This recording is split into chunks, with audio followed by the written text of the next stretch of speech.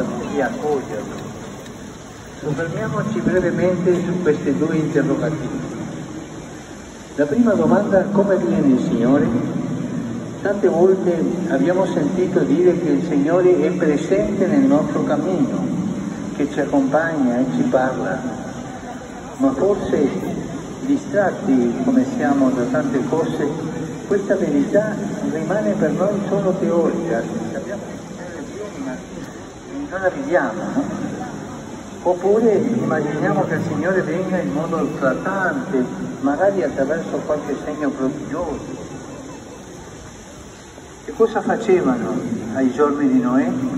C'è come i giorni di Noè, no? Semplicemente le cose normali.